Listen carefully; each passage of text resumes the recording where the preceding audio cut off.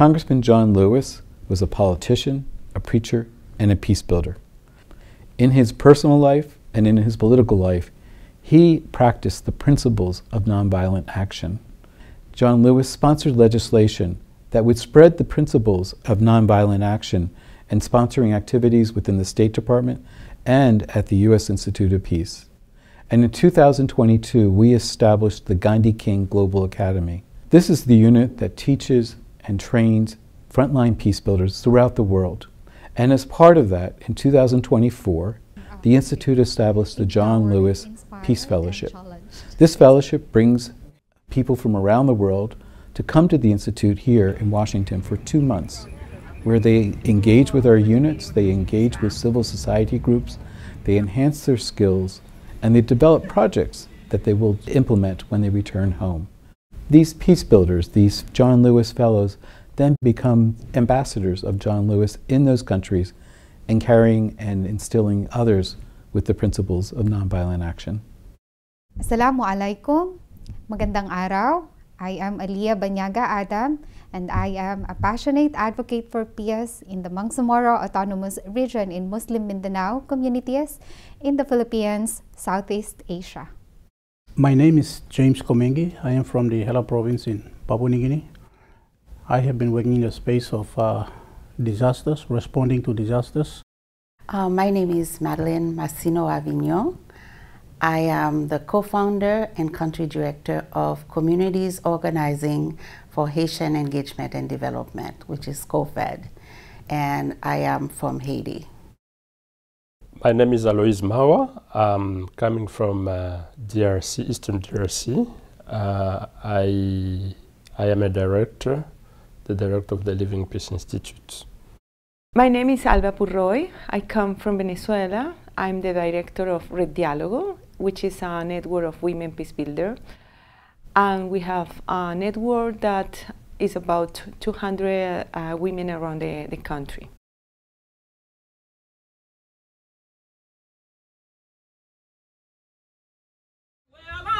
Walking and walking with my mind.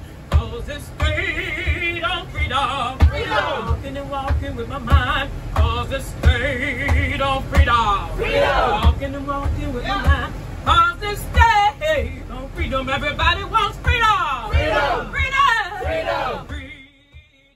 Our journey began by proudly wearing the John Lewis t-shirts that has a good troublemaker word at its back and wearing that shirt already challenged me to be a good troublemaker. It was a really remarkable uh, trip to my life as a social activist. To be in touch with people that lived uh, that experience in the 60s in the United States was really amazing. They speak about their leaders uh, by their art. So we had the feeling that they are really sharing their own story and experience. And I picked the pen up and I said, John, this is a nice pen. Where did you get this pen from? He said, that's the pen that President Johnson signed the Civil Rights Act. I went from just holding this pen to tears just started flowing. Here, the uh, five and dime stores were segregated as well. You know, if you wanted a hot dog or something when you went into five and dime, you, you did have to stand. But it was something about the black community that protected us. Churches have succeeded in that area to really bring black communities, African American communities together.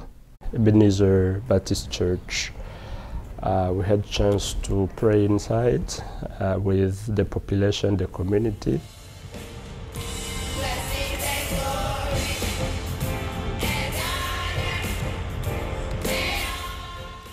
The civil rights movement was started from the churches. Yeah. So Martin Luther, and then inspiring uh, John Lewis, and them teaming up, building a network, leading a big number of people, and always maintaining uh, nonviolence. Even when they were faced with violence, they upheld nonviolence. So we also traveled to Alabama 16th Baptist Church.